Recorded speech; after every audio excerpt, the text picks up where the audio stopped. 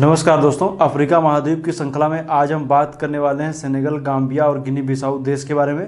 ये तीन देश हैं, पीछे मानचित्र बना हुआ है, तीनों देशों के बारे में देखेंगे। और इसके बाद की जो वीडियो होने वाली है, इसमें अफ्रीका महाद्वीप के अंतर्गत हम देखेंगे तो अफ्रीका की प्रमुख नदियाँ, अफ्रीका की प्रमुख झीलें, अफ्रीका की प्रमुख जनजातियाँ, इनके बारे में हम आपको बताएँगे। तो जो नेक्स्ट वीडियो आएगा अफ्रीका की झीलों के ऊपर होगा।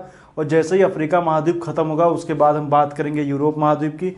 यूरोप के बाद हम उत्तर अमेरिका, दक्षिण अमेरिका, इनके बारे में बताएँगे। तो आइए देखते हैं, सबसे पहले हम बात करने वाले हैं तीन देशों की। गाम्बिया, देखिए, सबसे ऊपर दिख रहा है, यह है सेनेगल। सेनेगल के बीच में देखिए, ये जो देश दिख रहा है, इसको बोलते हैं गाम्बिया। और जो ये आप देख रहे हैं गिनी बिसाऊ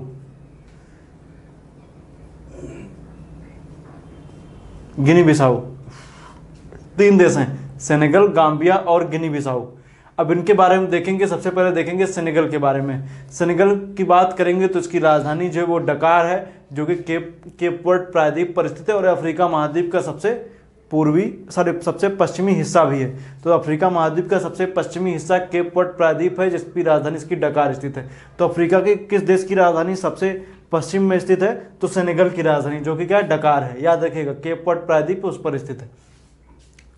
और हम बात करेंगे सेनेगल की तो तो सेनेगल को जो हम बात करेंगे तो फ़िज़िकल डिवीज़न मुख्य रूप से हम तीन पार्ट में करते हैं। उत्तर का हिस्सा जब हम देखेंगे सेनेगल का तो मरुस्थलीय मध्यवर्ती हिस्सा मैदानी है।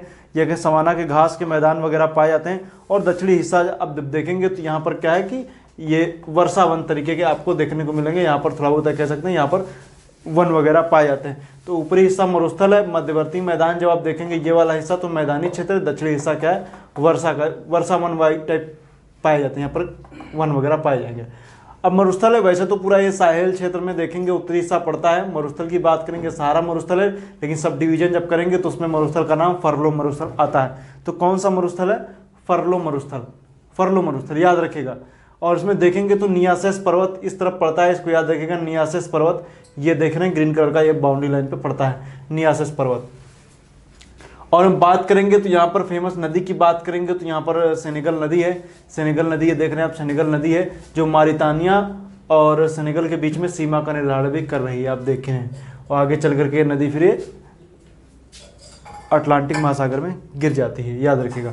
अब हम बात करेंगे इसमें और। हालाँकि मैं एक सेक्शन बताना भूल गया, मैंने बताया था कि कोई भी देश पढ़ने से पहले उसकी वाटर बॉडी और बाउंड्री वगैरह देखा कीजिए, लेकिन चूँकि अब हम इसमें वाटर बॉडी को तो हम देख नहीं पाए अभी तो इसमें देखेंगे वाटर बॉडी में देखेंगे तो पूरा हिस्सा जो है वो अटलांटिक महासागर से सीमा बनाता है।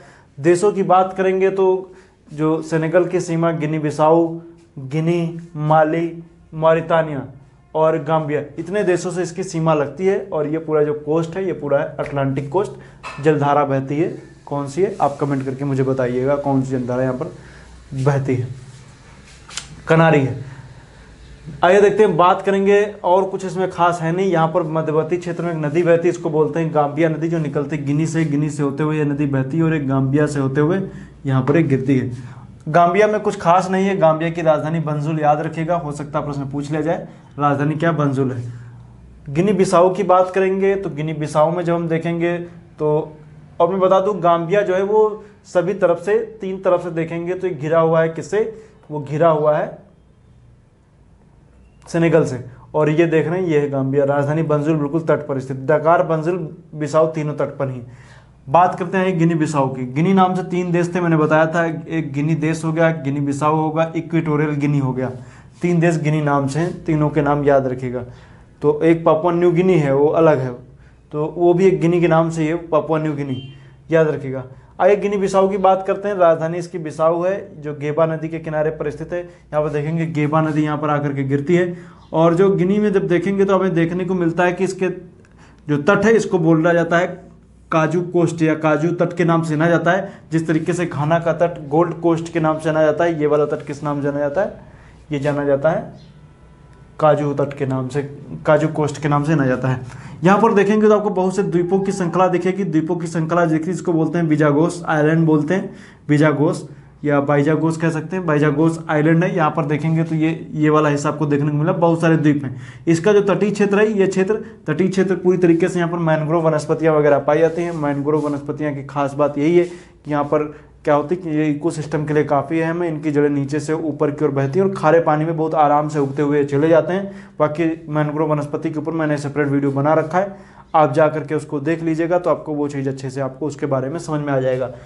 तो गिनी बिसाओ का जो तट, काजू कोस्ट बाउंड्री लाइन की बात करेंगे तो गिनी और सेनेगल दो देशों से इसकी सीमा लगती है। दोनों देश आप याद रखिएगा, गिनी और गिनी। और गिनी के बाद में देखेंगे तो सेनेगल दो देशों से इसकी सीमा लग रही है। और ये बाइजागोस आइलैंड ने काफ़ी सारे, अब इसमें आइलैंड का एक समूह है बाइजागोस जिसको बोलते हैं। हालाँकि इसमें बहुत सारे छोटे छोटे आइलैंड हैं। अब सबके नाम एक तो वैसे भी गिनी बिसाऊ मानचित्र पे आप देखेंगे तो आपको परीक्षा की दृष्टि से कोई बहुत इंपॉर्टेंट है नहीं, राजधानी आ जाती है। लेकिन बाकी अब देखेंगे तो बिजागोस आइलैंड जो है, इसमें भी बहुत सारे यहाँ पर पाए जाते हैं द्वीप। अभी एक एक नाम बताने का कोई मतलब है नहीं। हालाँकि बताने को तो बताया जा सकता है लेकिन कोई मतलब नहीं परीक्षा की दृष्टि से इंपॉर्टेंट नहीं है। को, कोस्ट याद रखिएगा हो सकता है कभी मिलाने के लिए आ जाए काजू coast Guinea Bissau gold coast Ghana हालाँकि गोल्ड कोस्ट ऑस्ट्रेलिया में भी है। याद रखिएगा गोल्ड कोस्ट ऑस्ट्रेलिया में वैसे घाना के तट को गोल्ड कोस्ट के नाम से जानते हैं। वो याद रखिएगा। और इसमें देखेंगे स्केलेटन कोस्ट स्केलेटन कोस्ट आप जाने ना नामीबिया का तट स्केलेटन कोस्ट के नाम से जाना जाता तो उसको भी आप याद रखेगा तो इसमें और कुछ खास है नहीं, जितनी चीज़ें थी मैंने बता दी आपको। यहाँ पर डकार इंपॉर्टेंट ये एक बंदरगाह शहर भी है डकार, याद रखिएगा। और यहाँ पर अभी अभी जब बात करेंगे ट्रांस अफ्रीकन हाईवे की तो उसमें डकार की चर्चा आएगी तो उसमें हम डकार की बात करेंगे, डकार के बारे में। तो ये रही खासियत सेनेगल की गाम्बिया की और गिनी बिसाऊ की। गाम्बिया में कुछ नहीं है, एक बीच से नदी गाम्बिया नदी बहती है और यहाँ पर गेवा नदी है और ये जो सीमा बना रही सेनेगल नदी, इसके बारे में याद रखेगा बाकी आज के लिए इतना ही। बहुत छोटा सा वीडियो है। नेक्स्ट वीडियो जो हम लेकर के आएँगे, उसमें हम अफ्रीका की प्रमुख नदियों की बात करेंगे, झीलों की बात करेंगे, जनजातियों की बात करेंगे। इन सब की बात हम नेक्स्ट वीडियो में करने वाले हैं। तो आज के लिए इतना ही। वीडियो देखने के लिए आपका बहुत बहुत धन्यवाद।